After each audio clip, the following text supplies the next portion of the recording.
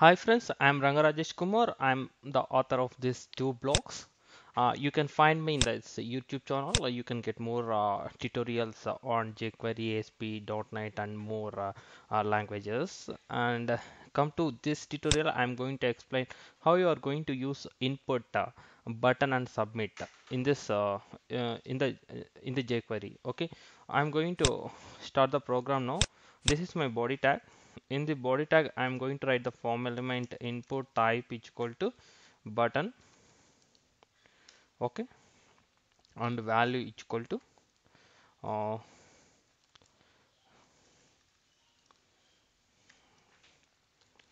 first one. Okay. And then I'm going to close this. Okay. Next I'm going to write one more button. Control V and control V. And this is the second button. And this will be the third button. Okay. And you can write how many you want. This will be the fourth button. Okay. What I'm doing is uh, just uh, I'm going to see the output how it is uh, behaving. I'm getting first second third and fourth. Okay. Uh, now I'm closing this window. I'm going to uh, do the action like whenever I'm going to click on uh, any button I will get the alert as uh, uh, hello. Okay? Uh, for this I need to write the jQuery program. Script. Okay? Script ending tag. Now I'm going to write the event for any kind of button click in the form. uh, you have to write this uh, uh, event dollar uh, dollar colon button. And then you need to make the click event and you have to write the function anonymous function. Okay? And then you have to write alert. Alert of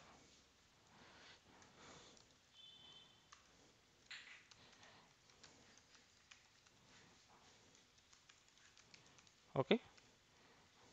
Oh fine. Uh, now we can able to run this program.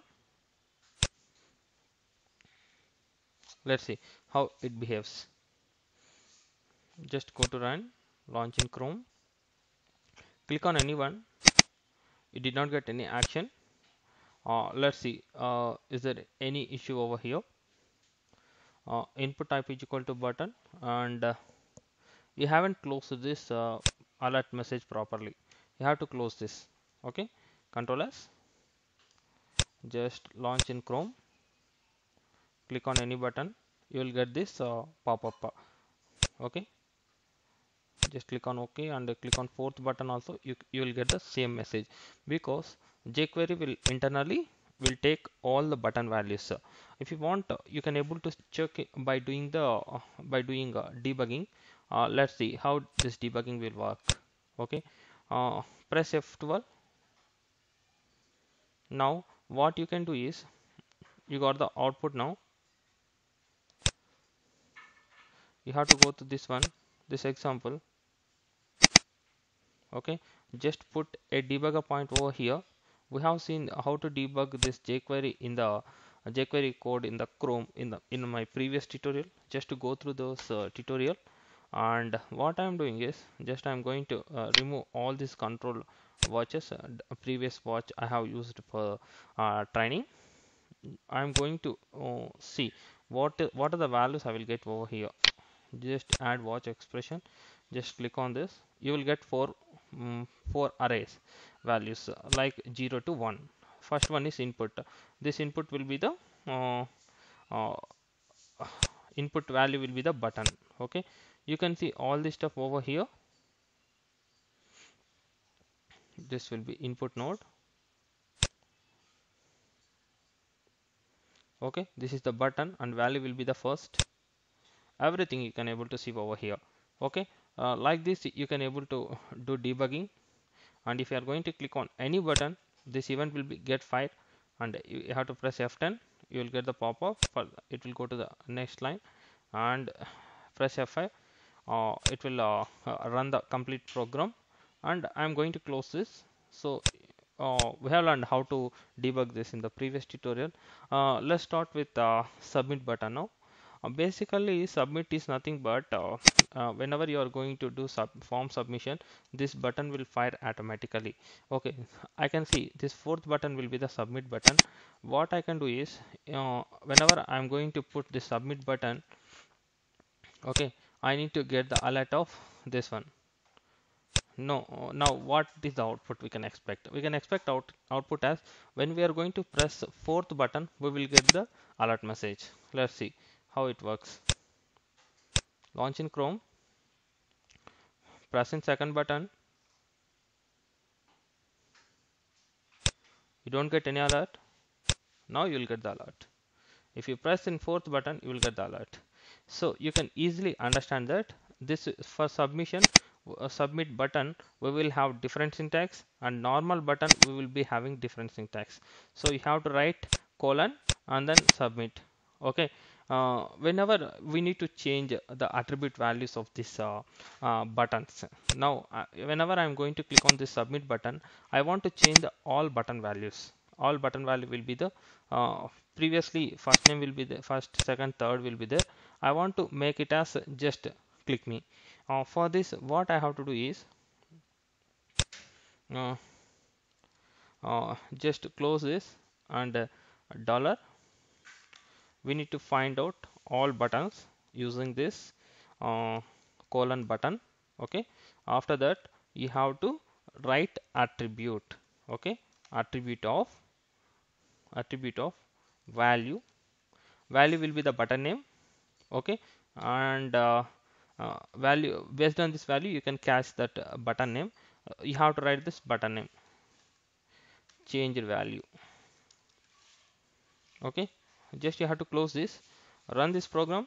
We will see the output whenever we are going to click on the submit button. Uh, all other button values need to be changed. Okay? I'm going to click on this fourth button. All button values got changed over here change it value change it value change it value. Okay? Now what i'm doing is i don't want to uh, do all the buttons. Just i wanted to uh, check that whenever i wanted to click on um, which button that button need to change the value. Means if i'm going to click on this uh, button that button value only need to be changed. Other button value will be the same. For this what i have to do is just uh, you have to uh, go to program in the uh, i'm changing the submit button to normal thing button. Okay. After that uh, you have to write here also just button. Okay.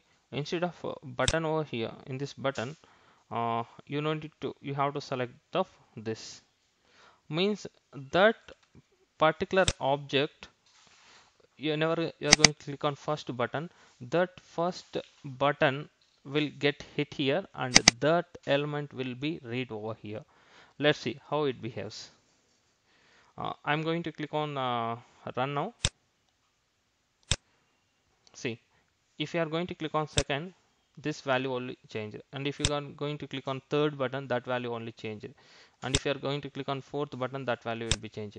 Like this you can able to do multiple kind of operations using this kind of attributes. Uh, even this attribute value we will uh, see in deeper uh, in the future chapters. Now at present uh, we have enjoyed how to use button and how to use submit buttons uh, uh, using this tutorial. Uh, I will catch you in the next video. Uh, before that please subscribe this channel and please like share and give your valuable comments on this tutorial. Have great days my friends